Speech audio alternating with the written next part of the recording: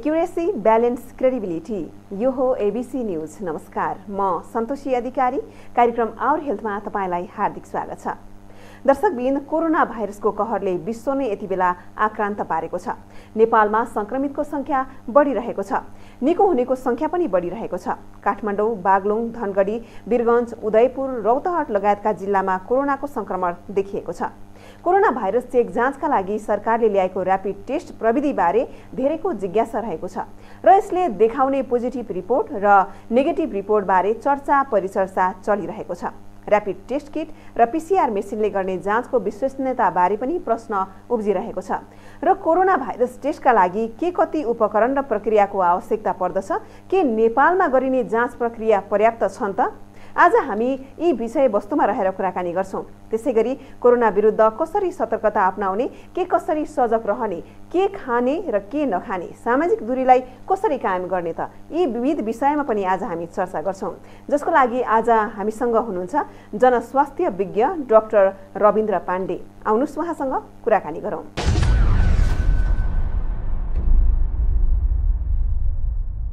स्वागत छ डाक्टर साहब यहाँलाई हाम्रो कार्यक्रममा।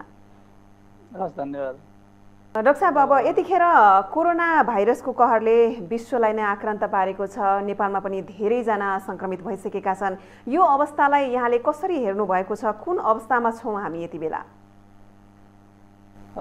खास गरी चाहिँ विश्वव्यापी रूपमा जुन कोरोना फैलिरहेको छ त्यसको चाहिँ तुलनामा अहिलेसम्म चाहिँ हामीहरूको बयालिसजना जति चाहिँ अब पोजिटिभ भएको अवस्था हो। अनि कोरोनाबाट कसैको मृत्यु भएको पनि छैन र कुनै पनि बिरामी आइसियुमा अथवा भेन्टिलेटरमा बस्नु परेको पनि छैन। त्यही हुँदाखेरि यो अहिलेको लागि यो भनेको सुखद पक्ष मान्नुपर्छ अहिलेको यो विश्वव्यापी तुलनामा। हजुर। अब अन्य मुलुकहरू जस्तो इटली स्पेन अमेरिका लगायतका देशमा दिनहुँ मृत्यु हुनेको सङ्ख्या बढिरहँदा नेपालमा अब त्यो किसिमको भयावह स्थिति छैन। यहाँले पनि भन् भन्नुभयो यो सुखद पक्ष पनि हो मृत्यु कसैको भएको छैन। अब खास अब नेपालमा चाहिँ अन्य देशको तुलनामा कोरोनाबाट सङ्क्रमित हुनेको सङ्ख्या कम हुनुको कारण के हो जस्तो लाग्छ कि नेपालमा यो ढिला गरेर सङ्क्रमण सुरु हुने सङ्केत हो कि सुरु भएको हो कि के हो डक्टर साहब यो? पहिलो कुरा त जस्तो जब चिनमा फैलियो त्यो बेला चाहिँ तिब्बतमा तिब्बतमा फैलिएको थिएन। त्यस्तै भारतमा पनि फैलिएको थिएन। त्यो हुँदाखेरि चिनको प्रभाव आउन पाएन पहिलो कुरा। दोस्रो कुरो चाहिँ अहिले पनि हेर्ने भने बिहारमा चाहिँ त्यति ठुलो सङ्ख्यामा फैलिसकेका छैन। जस्तो चाहिँ युपीमा अलिकति बढी छ बिहारमा चाहिँ कम नै छ। अनि अर्को कुरा भनेको चाहिँ लकडाउन हो। लकडाउन चाहिँ जुन सरकारले लकडाउन गर्यो त्यो दुई हप्ता अगाडिदेखि गरेको भए हामी कहाँ एउटा मात्रै केस हुँदो रहेछ। हजुर। लकडाउन चाहिँ अलिकति ढिलो भयो फ्लाइटहरू पनि अलिक ढिलो क्यान्सल भयो। तर त्यो भए तापनि अरू देशको तुलनामा त्यसलाई चाहिँ चाँडै नै मान्नुपर्छ। र सरकारले जुन लकडाउन चाहिँ को चाहिँ गर्यो त्यो चाहिँ असाध्यै सकारात्मक पक्ष हो। त्यसले गर्दा पनि लकडाउनले गर्दाखेरि चाहिँ तिनवटा कुरा भयो। पहिलो कुरा के भयो भने जो व्यक्ति सङ्क्रमित छ ऊ घरभित्रै बस्यो र एट्टी फाइभ पर्सेन्टको त आफै निको हुन्छ। निको भयो।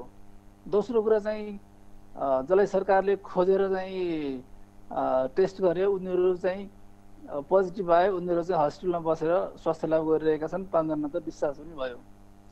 अनि अर्को कुरा के भयो भने समुदायमा यो चाहिँ फैलिन पाएन। यो चाहिँ लकडाउन सामाजिक दूरी भनेको सबैभन्दा ठुलो चाहिँ उपचार हो यो कोरोना सङ्क्रमणको लागि। हजुर। अब नेपालमा सङ्क्रमितको सङ्ख्या कम हुनुको मुख्य कारण चाहिँ यो लकडाउन क्वारेन्टाइनको पालना नै हो कि अन्य कारण पनि हुनसक्छ। नेपालीहरूलाई सङ्क्रमणको जोखिम नहुनुको कारण धेरै मात्रामा अरू देशमा सङ्क्रमितको सङ्ख्या बढिरहँदाखेरि नेपालमा कम सङ्क्रमण देखिनुको कारण अन्य कारण के हुनसक्छ डाक्टर साहब? जस्तो हाम्रो देशमा हेरौँ हामीहरूको मास ट्रान्सपोर्टेसन छैन। जस्तो चाहिँ हामीहरू चाहिँ जस्तो भूमिगत ट्रेनहरू विदेशमा हेर्ने हो भने बाटो खाली हुन्छ तर भूमिगत ट्रेनमा यति भिड हुन्छ कि र त्यहाँ एउटै ट्रेनमा हजारौँ मान्छेहरू यात्रा गर्छन्। त्यो हुँदाखेरि एकजनालाई सङ्क्रमण भयो भने धेरैलाई सङ्क्रमण हुने अवस्था त्यस्तै मेट्रोमा पनि त्यहाँ धेरै मान्छेहरू हिँडिरहेको हुन्छन्।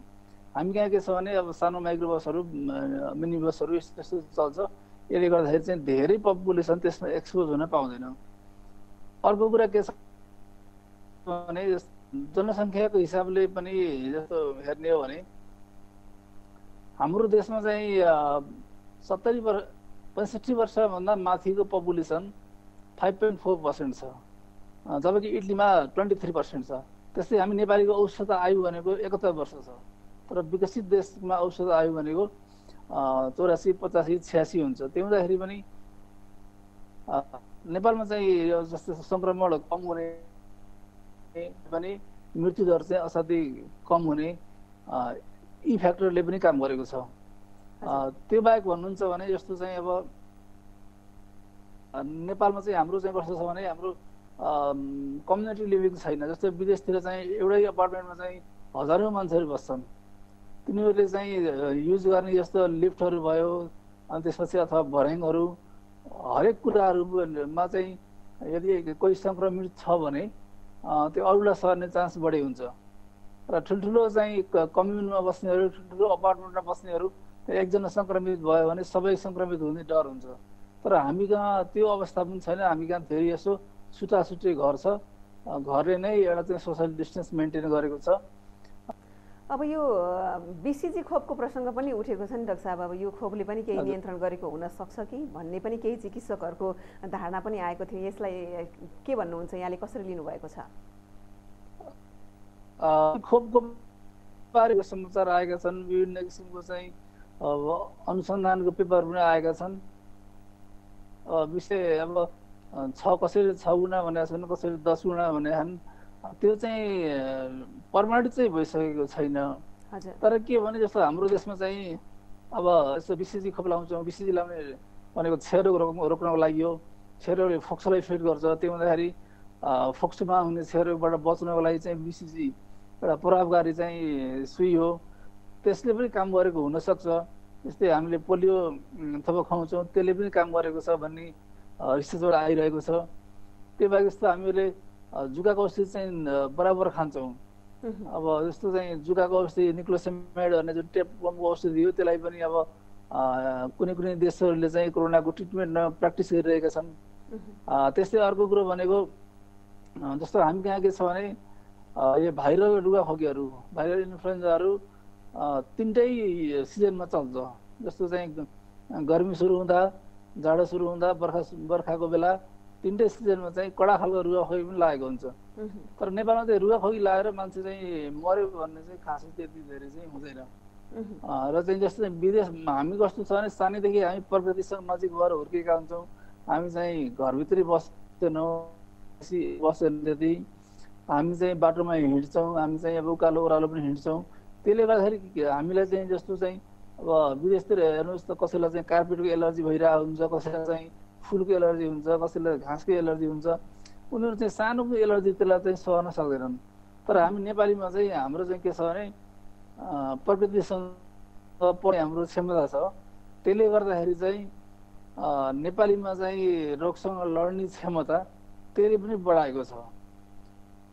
यसको अलावा हाम्रो जुन खानपिनको कुराहरू छ जस्तो चाहिँ हामीले चाहिँ डेली चाहिँ आफैले पकाएर खाना खान्छौँ ताजा खाना खान्छौँ त्यसपछि खानामा हामीले जस्तो विभिन्न किसिमको अदुवा बेसार त्यसपछि गएर चाहिँ यो लसुन प्याजदेखि लिएर विभिन्न किसिमको टिमुर मरिच धेरै मरमसलाहरू हामीले चाहिँ प्रयोग गर्छौँ त्यसले गर्दा पनि रोगसँग लड्ने एक किसिमको क्षमता हामीमा विकास भएको हुन्छ त्यस्तै अर्को कुरा भन्नुहुन्छ भने हामीको जस्तो अब सरसफाइको कुराहरूमा पनि जस्तो भनौँ न हामीले चाहिँ टोइलेट पेपर युज गर्दैनौँ हामीले चाहिँ टिस्यु पेपर युज गर्दैनौँ हामीले चाहिँ आफै कपडा धुन्छौँ यसोले त्यसको भन्न अर्थ के भने विदेशी मान्छेले हात साबुन पानीले चाहिँ नधोइ पनि काम चल्छ उनीहरूले चाहिँ टोइलेट पेपर युज गर्छ त्यसपछि गएर चाहिँ काँटा चम्चाले खान्छ अनि किनेको फुड ल्याएर चाहिँ फ्रिजमा राखेर चाहिँ हप्ताउँदै खान्छ। त्यसले गर्दाखेरि उनीहरूलाई चाहिँ हात धुनु पर्ने जरुरी हुँदैन तर हामीमा हेर्नुहोस् बिहानदेखि बेलुकासम्म चाहिँ हामी भने यो कोरोना सङ्क्रमण नआउँदै पनि हामीले चाहिँ दिनको बिस तिसचोटि हात चाहिँ हामीले धुन्छौँ जस्तो चाहिँ अब बाथरुम जाँदा गएपछि त्यसपछि गएर चाहिँ अब नुहाउँदा भइहाल्यो त्यसपछि खाना चाहिँ तयारी गर्दा खाना काट्दा पखाल्दा अनि पकाउँदा पकाइस त्यसपछि खाना अगाडि खाना खाइसकेपछि हाम्रो त अब खाना खाजा खाना त्यो हुँदाखेरि अनि कपडा धुँदाखेरि हामीले पनि साबुन पानीले कपडा धुन्छौँ। यी कुराहरूले गर्दाखेरि पनि भाइरसको चेन जुन हो त्यो चाहिँ त्यो चक्र चाहिँ तोडिएको छ। यी किसिमका हाम्रा चाहिँ जुन किसिमका मौलिक रहनसहनहरू छन् चालचलन छन् त्यसले गर्दा पनि हामी कहाँ त्यति पाएको छैन। जस्तो तपाईँले हेर्नुहुन्छ नेपालमा अब जस्तो हामी अधिकांश चाहिँ हिन्दूहरू छौँ।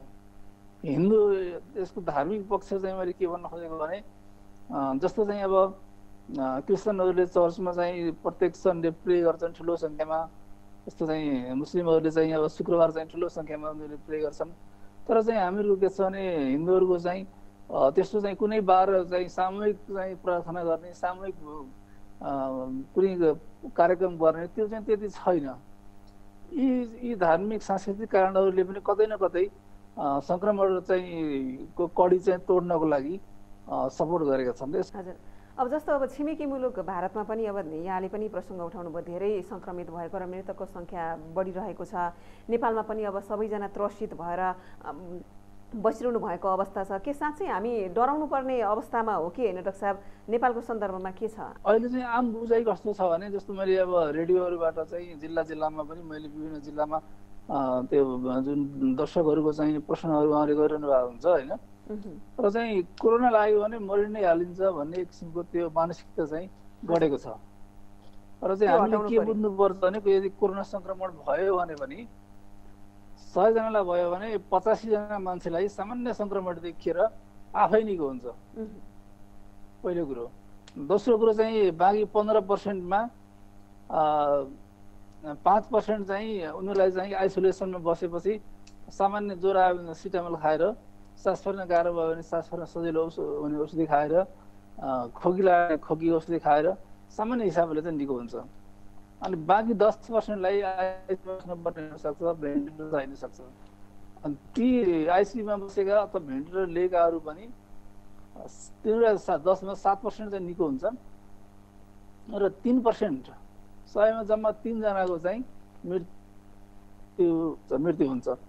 अनि त्यो सयमा तिनजना पनि कस्तो मान्छे हुन्छ भने जसको रोगसँग लड्ने क्षमता हुँदैन। जस्तै अब क्यान्सरको चाहिँ थर्ड फोर्थ स्टेजमा पुगेको मान्छे त्यस्तै चाहिँ अब भनौँ चाहिँ किडनी फेल भएको मान्छे अब अङ्ग प्रत्यारोपण गरेको व्यक्ति अनि जस्तो पुरानो चाहिँ दम अनि छातीको चाहिँ बारम्बार न्युमोनिया हुने मान्छे। त्यसपछि चाहिँ मधुमेह बिग्रेर किडनी को समस्या भएको मान्छे मुटुको रोग भएका मान्छेहरू यस्तो किसिमको चाहिँ पपुलेसन जुन छ जोसँग इम्युनिटी पावर कम छ धेरै औषधिहरू खाइरहेछ त्यस्तो चाहिँ मध्येबाट चाहिँ डेथ हुन्छ। त्यो हुँदाखेरि चाहिँ भट्टाकट्टा मान्छे छ अथवा यङ छ अथवा केटाकेटी छ बच्चा बच्ची छ उनीहरूले मृत्यु हुन्न। हामीले यो तथ्य चाहिँ बुझ्यौँ भने हामीलाई तनाव हुँदैन। र अरू कुरो के छ भने तनाव र चिन्ताले चाहिँ आत्मबल घट्छ। डाक्टर साहब यो अब ऱ्यापिड टेस्ट प्रविधिबारे अलिकति धेरैलाई जिज्ञासा पनि छ र यसमा चासो पनि धेरैले राख्नु भएको छ। अब यो प्रविधि अब कतिको वैज्ञानिक छ? अब यो अहिले जुन हामीले प्रविधि जुन प्रयोग गरिरहेका छौँ ऱ्यापिड टेस्ट होइन? त्यसबाट आएको रिजल्टलाई अब कतिको विश्वास गर्न सकिने अवस्था छ डाक्टर साहब? अब वैज्ञानिक आधार बिना नै विश्व स्वास्थ्य सङ्गठनले मान्यता नदिएको किट चाहिँ प्रयोगमा ल्याइएको छ भन्ने प्रश्न पनि उठिएको छ। यसलाई कसरी हेर्नु भएको छ कस्तो छ भने जस्तो चाहिँ अब टेस्ट चाहिँ जुन ऱ्यापिड टेस्ट चाहिँ गरिन्छ त्यो टेस्ट भनेको रोग लागेको बेलामा गर्ने टेस्ट होइन त्यो। जस्तो चाहिँ भनौँ कुनै कम्युनिटीमा कुनै रोग छ छैन भनेर सर्वे गर्नको लागि अनुसन्धानको लागि चाहिँ टेस्ट हो यो पहिलो कुरा। र दोस्रो कुरा चाहिँ सुरु जब कहीँ हामी कहाँ रोग सुरु भएको छ भने त्यो बेला टेस्ट गर्ने होइन यो। यो चाहिँ कहिले टेस्ट गर्ने भने अर्को साल अर्को साल जस्तै यो रोग क्लियर भयो कि भएन भनेर चाहिँ एउटा कम्युनिटीमा टेस्ट गर्ने। त्यसको लागि चाहिँ उपयोगी हुन्छ। तर चाहिँ अहिले नेपालमा सङ्क्रमण भर्खर सुरु भएको छ। अनि भर्खर सुरुवात भएकोमा जस्तो ऱ्यापिड टेस्ट के गर्ने हो भने यसले एन्टिबडी टेस्ट गर्ने हो। एन्टिबडी जस्तो चाहिँ कोरोना सङ्क्रमण भएर त्यो मान्छेलाई ले रोगसँग लड्ने क्षमता त्यो विकास गरेको छ कि छैन त्यो हेर्नको लागि चाहिँ ऱ्यापिड टेस्ट चाहिँ गर्ने हो। त्यो भनेको चाहिँ जस्तो कोरोना सङ्क्रमण भएको दस बाह्र दिनपछि मात्रै इम्युनिटी के अरे हाम्रो चाहिँ शरीरबाट चाहिँ एन्टिबडीहरू चाहिँ बन्छ रोगसँग लड्नको लागि। त्यही भन्दाखेरि दस बाह्र दिनसम्म आरटिबाट चाहिँ देखिँदैन। यदि कसैलाई लागेछ भने पनि देखिँदैन। पहिलो कुरा। दोस्रो कुरो चाहिँ लागेको छ भने पनि यो चाहिँ तिसदेखि चालिस पर्सेन्ट चाहिँ फल्स रिपोर्ट दिन्छ अहिले फल्स रिपोर्ट भनेको जस्तो चाहिँ तपाईँले अहिले हेर्नुभयो टेस्ट गर्दाखेरि जस्तो चाहिँ अब उदयपुरकै धेरै केसहरू हेर्नु हो अथवा वीरगञ्जको हेर्नुहोस् अथवा तपाईँ कर्नाटक हेर्नुहोस् टेस्ट गर्दाखेरि नेगेटिभ आएको छ। तर चाहिँ हाम्रो प्रहरी प्रशासनले चाहिँ शङ्का गरेर उनीहरूलाई चाहिँ पिसिआर टेस्ट गरायो त्यो गर्दा उनीहरूलाई पोजिटिभ देखियो त्यस्तै चाहिँ अब दिनदिनै हामी समाचार सुन्छौँ आरडिटी पोजिटिभ देखियो भनेर तर पिसिआरबाट गर्दाखेरि त्यो के देखिएछ नेगेटिभ देखिएछ यसको अर्थ के हो भने यो टेस्ट गर्दाखेरि यसले फल्स पोजिटिभ र फल्स नेगेटिभ रिपोर्ट दिन्छ त्यो भनेको जस्तो चाहिँ कुनै स्वस्थ व्यक्तिलाई पोजिटिभ देखाइदियो भने त केही छैन उसले चाहिँ सतर्कता अप्नाउँछ पिसिआर टेस्ट गर्छ। तर यदि चाहिँ सङ्क्रमित मान्छेलाई यदि चाहिँ फल्स नेगेटिभ फल्स नेगेटिभ देखाइदियो भने त्यो मान्छे के हुन्छ मलाई कोरोना छैन भनेर ऊ चाहिँ आफ्नो समाजमा जान्छ घर परिवारमा जान्छ समयमा जान्छ उसले धेरैलाई रोग सार्न सक्छ। त्यो हुँदाखेरि चाहिँ यो टेस्टको चाहिँ भेलिडिटी एकदमै कम छ।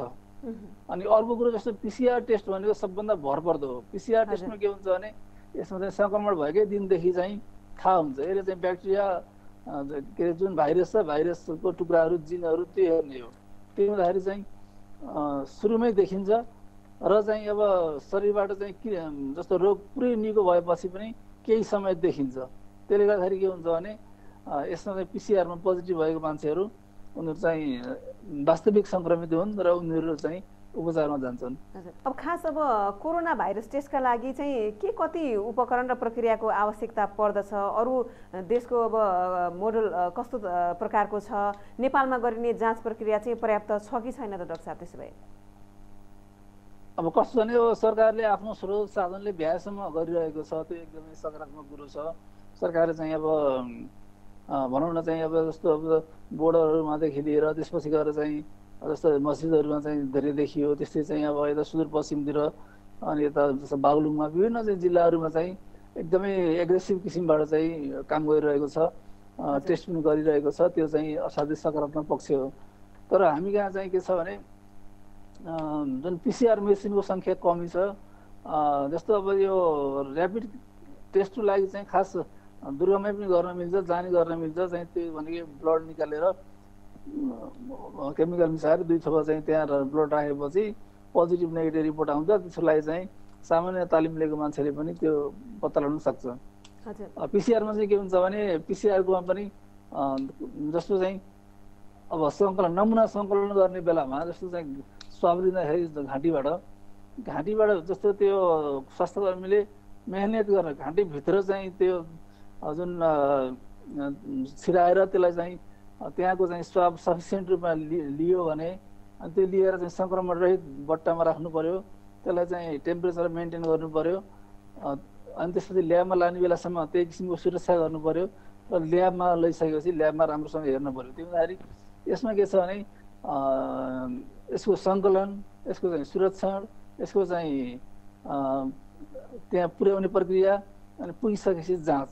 यो चाहिँ फेयर यसमा चाहिँ हरेक चाहिँ पक्ष चाहिँ संवेदनशील भयो भने यो चाहिँ पोजिटिभ चाहिँ यसलाई पोजिटिभ देखाउँछ नेगेटिभ र नेगेटिभ देखाउँछ।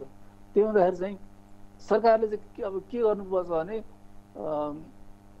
पिसिआर चाहिँ मेसिनहरू चाहिँ धेरै ल्याउने र पिसिआर मेसिनबाट धेरै नै टेस्ट गर्ने एउटा कुरा। दोस्रो कुरो चाहिँ लकडाउनलाई असाध्यै कडा गर्ने। अनि त्यसपछि गएर अर्को अर्को कुरा भनेको पूर्व तयारी चाहिँ केही गर्नुपर्ने छ। जस्तो चाहिँ नेपालमा झन्डै छ सयवटा मात्रै भेन्टिलेटर छ। यदि भोलि चाहिँ दस हजार बिरामी आइसियुमा चाहिँ आउने स्थिति आयो भने के गर्ने त? जस्तो चाहिँ एउटा गाइडलाइन नै बनाउनु जरुरी छ। जस्तो चाहिँ एकजना नब्बे वर्षको चाहिँ मान्छे भेन्टिलेटरमा छ एकजना चाहिँ चार वर्षको बच्चा भेन्टिलेटरमा छ। भेन्टिलेटर चाहिएको छ। दुइटालाई भने कसलाई भेन्टिलेटर दिन्छ ती? खालको चाहिँ गाइडलाइनहरू चाहिँ बनाएर त्यो पनि गर्नु जरुरी छ। अर्को कुरो भेन्टिलेटर कस्तो हुँदैन? त्यसको अपग्रेड गर्ने म्यान पावरलाई तालिम दिनु पर्यो यी तयारीहरू धेरै तयारी चाहिँ गर्न बाँकी छ। हजुर। अब जस्तो अघि पिसिआरको कुराहरू हामीले गऱ्यौँ ऱ्यापिड टेस्टको कुराहरू गऱ्यौँ। अब एक एउटा उदाहरण म दिन चाहन्छु। काठमाडौँको पेप्सिकोला स्थित सन सिटी अपार्टमेन्टमा बस्ने अब तिनजनामा ऱ्यापिड डायग्नोस्टिक टेस्ट गर्दाखेरि चाहिँ पोजिटिभ देखिएपछि पिसिआर जाँच गर्दा दुईजनामा चाहिँ अब कोरोना भएको पुष्टि भयो। अब उनीहरूलाई अब यति बेला पाटन अस्पतालको आइसोलेसनमा राखिएको छ। अब निको हुने क्रम पनि छ भन्ने सुनिएको छ। स्वास्थ्य अवस्था सामान्य छ। सो अपार्टमेन्टमा अब उनीहरूको सम्पर्कमा रहेका करिब तिन सय मानिसको आरडिटी परीक्षण गरियो सबैको रिपोर्ट नेगेटिभ आएको छ। जबकि त्यहाँ तिनजना व्यक्तिहरू अब एक हजार सात सय व्यक्तिसँग घुलमिल गरेको तथ्य खुलेको छ। तर त्यहाँ ती मानिसहरूको त्यो आरडिटी होइन पिसिआर नै जाँच गर्नुपर्छ भन्ने तर्क पनि उठिरहेको छ नि डाक्टर साहब। अब आरडिटीको विश्वसनीयताको बारे कुराकानी हामीले अघि पनि गऱ्यौँ होइन। अब यसमा चाहिँ के पिसिआर यो परीक्षण नै गर्नुपर्ने अवस्था होइन र यो? मलाई के लाग्छ भने जस्तो उहाँहरू चाहिँ चैत्र पाँच गते चाहिँ नेपाल आउनुभयो। हजुर। भने नेपाल आएको चार हप्तापछि चाहिँ उहाँहरूलाई टेस्ट गर्दाखेरि चाहिँ पोजिटिभ देखियो। त्यो उहाँहरूलाई चाहिँ त्यो रोगको लक्षण देखेर हस्पिटल गएको थिएन। उहाँहरूलाई अब त्यहाँ कसैले चाहिँ भनेको आधारमा चाहिँ कसैले खबर गरेको आधारमा चाहिँ टेस्ट गर्दाखेरि पोजिटिभ देखियो। अनि त्यसपछि त्यसमा के बुझ्न सकिन्छ भने उहाँहरूको आरडिटी पनि पोजिटिभ देखिया थियो। पिसिआरमा पनि पोजिटिभ देखियो। त्यसको अर्थ के हो भने उहाँहरूको चाहिँ रोग लागेको चाहिँ झन्डै चार हप्ता भयो। चार हप्ता भएको हुनाले चाहिँ शरीरले एन्टिबडी पनि प्रोडक्सन गर्यो। अनि अर्को कुरो के हुन्छ भने रोग निको भइसकेपछि मान्छेलाई चाहिँ सार्न नसक्ने अवस्थामा पनि पिसिआरमा पनि कहिले काहीँ टेस्टमा जस्तो घाँटीमा हाम्रो यो चाहिँ यो एरियामा चाहिँ रहेका जिनहरू भाइरसहरू देखिन सक्छ। तर त्यो देखियो भने अरू अझै नसर्न सक्छ यो हिसाबले चाहिँ हेर्दाखेरि त्यहाँ फेरि कसैको लक्षण पनि देखिएको छैन। त्यो हुँदाखेरि लक्षण देखियो भने त तुरुन्तै चाहिँ अब सबैलाई टेस्ट गर्नुपर्ने हुन्छ। लक्षण देखिएको छैन भने अब मलाई लाग्छ त्यो गरिहाल्नु त्यस्तो हतार चाहिँ छैन जस्तो लाग्छ मलाई। अर्को कुरा अर्को कुरा के छ भने हाम्रो एउटा विशिष्ट एउटा चाहिँ कुरा चाहिँ के छ भने अरू देशको चाहिँ तपाईँले हेर्नुहुन्छ भने जस्तो चाहिँ अहिले बेलायतमा अमेरिकामा खास गरी यङहरूको बेलायतमा डेथ भइरहेको छ अहिले यङ भनेको चालिस पचास वर्षको मान्छेहरूको। त्यहाँ कस्तो भएको छ भने मान्छेलाई ठुलो ज्वरो आउने लहरे खोकी लाग्ने त्यसपछि अनि सास फेर्न गाह्रो हुने अनि गन्धहरू चाहिँ कम आउने त्यो ऱ्यापिडली बढ्दै गइसकेपछि चाहिँ मान्छेले हस्पिटल भर्ना हुनैपर्ने भर्ना भइसकेपछि ऊ आइसियुमा जानै पर्ने गइसकेपछि चाहिँ डेथ हुने त्यस्तो पनि देखिया छ। तर हामी कहाँ कस्तो छ भने जस्तो एक दुईजना दुई तिनजनामा चाहिँ अलिअलि सङ्केत देखेर हस्पिटल गयो उनीहरू। नत्र अधिकांश चाहिँ जस्तो अब कम्युनिटीले चाहिँ खबर गरेको भरमा अथवा प्रहरीले चाहिँ खोजेको भरमा चाहिँ टेस्ट गर्दा पोजिटिभ देखिया छ। र तपाईँले हेर्नुभयो बागलुङको पैँसठी वर्षको आमा उहाँ पनि मलाई केही पनि भएको थिएन। उहाँ चाहिँ अब रुवा पनि लाग्छ छैन खोकी लाग्छ छैन ज्वरो नै आएको छैन। मैले अब साबिक दाल भात तरकारी खाएर अस्पताल बसेँ त्यसपछि आएँ भन्नुभयो उहाँले। हजुर यसको लक्षणहरू देखा नपर्नुको कारण के हुनसक्छ डाक्टर साहब? अब कसैमा लक्षण नदेखा देखा नपर्ने कसैमा देखा पर्ने हजुर। कसैमा चाँडो देखिने कसैमा ढिलो देखिने यसको कारणहरू के हुनसक्छ डाक्टर साहब? म तपाईँलाई भन्छु त्यस्तो चाहिँ अरू अरू केसहरू हेर्नु भन्यो भने जस्तो अहिले हाम्रो चाहिँ हस्पिटलमा जति पनि छन् ती स्वस्थ किसिमकै छन्। उनीहरूलाई चाहिँ आइ आइसियुमा राख्नु परेको छैन। यसको अर्थ के हो भने एउटा चाहिँ हुनसक्छ नेपालमा चाहिँ जुन भाइरस आएको छ त्यो चाहिँ अलिकति विक स्ट्रेनको हुनसक्छ एउटा कुरा कमजोर किसिमको। दोस्रो कुरो चाहिँ के हुनसक्छ भने हामीले हामीसँग त्यो पचाउने क्षमता छ। हामीसँग चाहिँ त्यो पचाउने क्षमता छ। दोस्रो कुरो चाहिँ हामी त्यो बुझ्नुपर्छ। अनि तेस्रो कुरा भनेको के छ भने जस्तो सरकारले कहले चाहिँ अब डाटा लुकायो कि धेरै मान्छे सङ्क्रमित छन् कि भन्ने पनि यता कता हल्ला सुनिन्छ। यदि चाहिँ त्यस्तो हुन्थ्यो भने त धेरै मान्छेको मृत्यु हुन्थ्यो अथवा चाहिँ धेरै मान्छे चाहिँ हस्पिटल जान्थे त्यो पनि छैन। त्यो भएको हुनाले चाहिँ हामीकोमा जस्तो चाहिँ युरोपबाट आउनेहरू अथवा जहाँबाट बाहिरबाट आएका छन् उनीहरू चाहिँ ढिलो गरी आएका छन्। ढिलो गरी आएको हुनाले उनीहरूको चाहिँ के छ भने सिम्टम माइल्ड सिम्टम भएर त्यो चाहिँ सन्चो भइसकेको अवस्थामा मात्रै उनीहरू चाहिँ टेस्ट गर्न गएका छन्। त्यसले गर्दाखेरि उनीहरूलाई गाह्रो भएको छैन। जस्तो कोरोनाको लक्षण अब कसैमा देखिएको छैन यहाँले अघि उदाहरणहरू दिनुभयो विदेशमा जस्तो नेपालमा त्यस्तो लक्षणहरू देखिएको छैन धेरै जसोलाई देखिएको छैन। अब यस्तो अवस्थामा चाहिँ उहाँहरूलाई चाहिँ अरू रोगहरूको सङ्क्रमण हुने सम्भावना अथवा दीर्घकालीन असरहरू के हुन सक्छ मृत्यु हुने सम्भावना हुन्छ कि हुँदैन डाक्टर साहब? यस्तो कोरोनाबाट कोरोना भएर त्यसपछि दीर्घकालीन समस्या चाहिँ हुँदैन हुँदैन। जस्तो दीर्घ रोगीहरूलाई कोरोना भयो भने निको हुन चाहिँ गाह्रो हुन्छ भन्ने कन्सेप्ट हो। तर चाहिँ जस्तो कोरोना लगाएर एकचोटि सन्चो भइसकेपछि त्यसपछि चाहिँ ऊ भनेको हामी जस्तो नर्मल नै मान्छे बन्ने हो। त्यो हुँदाखेरि उसलाई पछि केही अप्ठ्यारो हुने केही अरू रोगहरू हुने हुँदैन। अब नेपालमा अब यो कोरोना भाइरसको जोखिमलाई कम गर्नको लागि व्यक्तिगत रूपमा सबै नागरिकले के गर्नुपर्छ र सरकारको तर्फबाट के गर्नु पर्ला त डाक्टर साहब? यसमा कस्तो छ भने पहिलो कुरो भनेको सरकारले चाहिँ जति दिनसम्म लकडाउन भन्छ जुन जुन क्षेत्र लकडाउन गर्ने भन्छ ती त्यो कुरा हामी जनताले चाहिँ पालना गर्नुपर्छ पहिलो कुरो। किनकि सरकारले लकडाउन गर्ने अनि कहीँ सिल गर्ने त्यस्तो अथवा कहीँ कर्फ्यू लगाउनु पर्ला त्यो भनेको जनता बचाउनको लागि सरकारले चाहिँ गरेको त्यो कुरो चाहिँ हामीले बुझ्नुपर्छ पहिलो कुरो। र चाहिँ हामीले सरकारले भनेको फलो गर्नुपर्छ। त्यो एउटा चाहिँ असल नागरिकको एउटा कर्तव्य हो। दोस्रो कुरो चाहिँ भनेको के छ भने हामीले सामाजिक दूरी चाहिँ कायम गर्नको लागि हामीले चाहिँ कहिले पनि त्यो विश्व नै हुन्न। हामीहरूले चाहिँ छ फिट दूरी हामीले कम्तीमा पनि त्यो मा डिस्टेन्समा रहेरै हामीले किनमेल गर्दा होस् अथवा चाहिँ हामी केही कामले बाहिर निस्किँदा होस् हामी चाहिँ छ फिट दूरी कायम गर्नैपर्छ दोस्रो कुरो। तेस्रो कुरो भनेको हामीले चाहिँ नियमित हामीले चाहिँ दिनको कम्तीमा बिसचोटि चाहिँ हामीले साबुन पानीले मजाले मिची मिची हात धुनुपर्छ। अनि अर्को कुरो भनेको हामीले चाहिँ नाकमा मुखमा आँखामा चाहिँ हात लाने जुन हाम्रो बानी हुन्छ त्यो चाहिँ पटक्कै गर्न हुँदैन। अर्को कुरा भनेको यदि ज्वरो आयो रुगा लाग्यो भने घरभित्रै पनि आइसोलेसनमा बस्नुपर्छ। त्यो लाग्यो भने घरको छुट्टै कोठामा बसेर चाहिँ आफ्नो परिवारसँग अलगै हुनुपर्छ।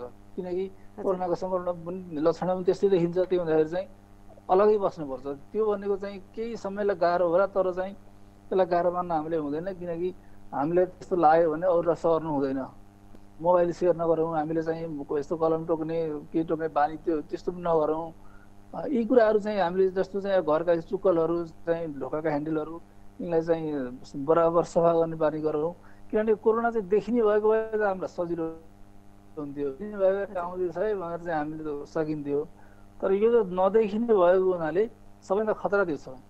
फेरि कोरोनाको एउटा के छ भने जस्तो मैले तपाईँलाई भने यसको मृत्युदर त कम छ यो चाहिँ कमजोर भाइरस हो। जस्तो चाहिँ अब यसकै चाहिँ अघिल्लो पुस्ता सार्सको दस पर्सेन्ट मृत्युदर थियो। त्यस्तै मर्सको चाहिँ तिस पर्सेन्ट मृत्युदर थियो। यसको चाहिँ ठाउँ हेरिकन जिरो पोइन्ट फोरदेखि फाइभ पोइन्ट फाइभसम्म एभरेजमा थ्री पर्सेन्टेजको मृत्युदर छ। भनेपछि मरिहालिन्छ भनेर चाहिँ डराउनु चाहिँ पर्दैन यसमा।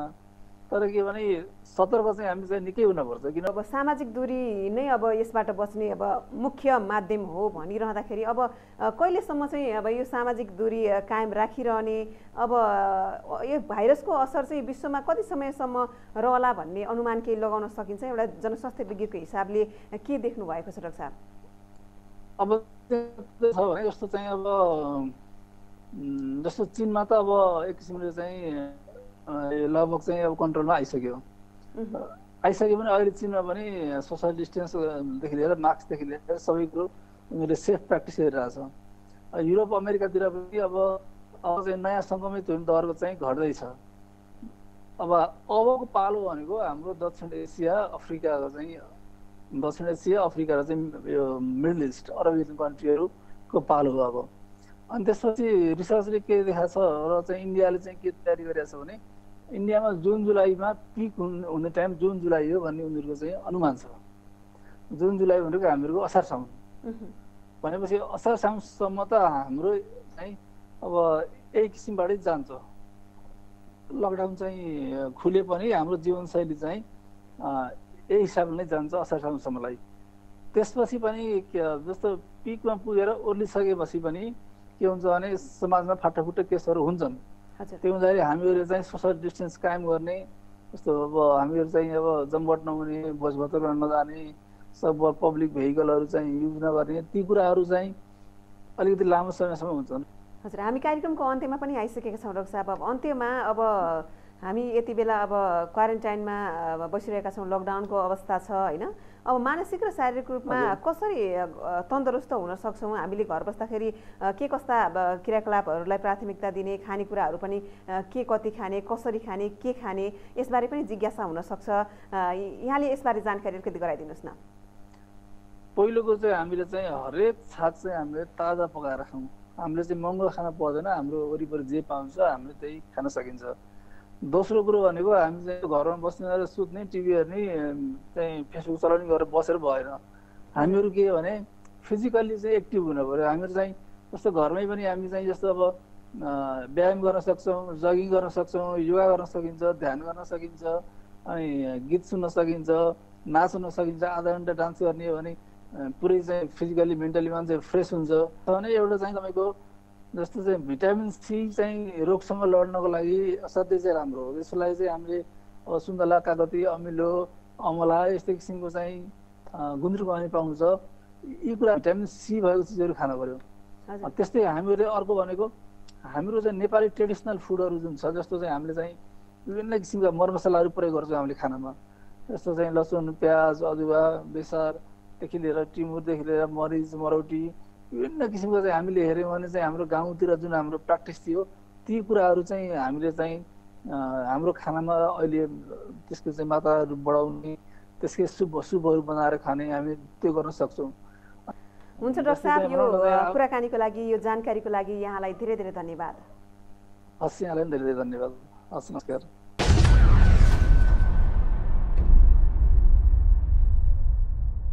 दर्शकबिन्द आज हामीले कोरोना भाइरस चेक जाँचका लागि सरकारले ल्याएको ऱ्यापिड टेस्ट प्रविधि र यसले देखाउने पोजिटिभ रिपोर्ट र नेगेटिभ रिपोर्ट कोरोना भाइरस विरुद्ध कसरी सतर्कता अप्नाउने के कसरी सजग रहने? भाइरस सङ्क्रमणबाट बच्नको लागि के कस्ता खाना उपयुक्त हुन्छ? सामाजिक दूरीलाई कसरी कायम गर्ने? यी विविध विषयमा कुराकानी गऱ्यौँ जनस्वास्थ्य विज्ञ डाक्टर रविन्द्र पाण्डेसँग। आजको लागि कार्यक्रम आवर हेल्थको निर्धारित समय सकिएको छ। एबिसी न्युज हेर्दै रहनुहोला। नमस्कार।